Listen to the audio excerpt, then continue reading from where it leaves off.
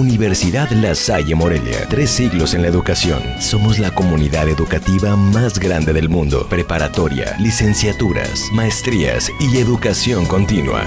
La Salle, profesionales con valor. Examen de admisión 31 de mayo. Autoridades de Vistahermosa, Michoacán realizarán el 29 de mayo un homenaje en vida a José Luis Gascón el Yaqui, romántico y rey de la música chicana, quien además participó en programas como Ensalada de Locos, Operación Jajá, con Manuel el Loco Valdés y Siempre en Domingo. Es un motivo de, gran beneplácito contar con un, un gran ícono de la música del rock, pero también el fundador de la música chicana.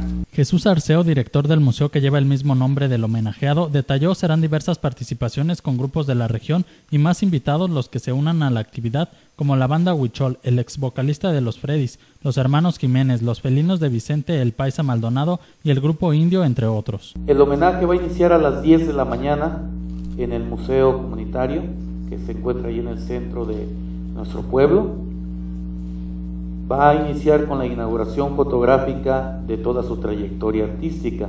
Agregó el director, es de destacar que los homenajes se realicen en vida y no póstumos. Hermoso y emotivo hacer un homenaje en vida, en vida a una persona que ha llevado el nombre no nomás del municipio de Vistahermosa, sino ha tenido en alto el nombre de nuestro estado de Michoacán. Arceo recordó, en el 2009 el Congreso del Estado rindió también un homenaje al hombre en cuestión. En el 2009 el Congreso del Estado de aquí de Michoacán le rindió un homenaje. Finalmente, Seu Rodríguez Miranda, director de la COFEM, se congratuló de que la comisión esté sumada al homenaje a este personaje que colaboró con las bandas El Recodo y La Costeña, el Mariachi Vargas de Tecatitlán, entre otros, y que por su trayectoria ha logrado dejar el nombre de Michoacán en alto. Con información de Felipe Bárcenas, informa Cuasar TV.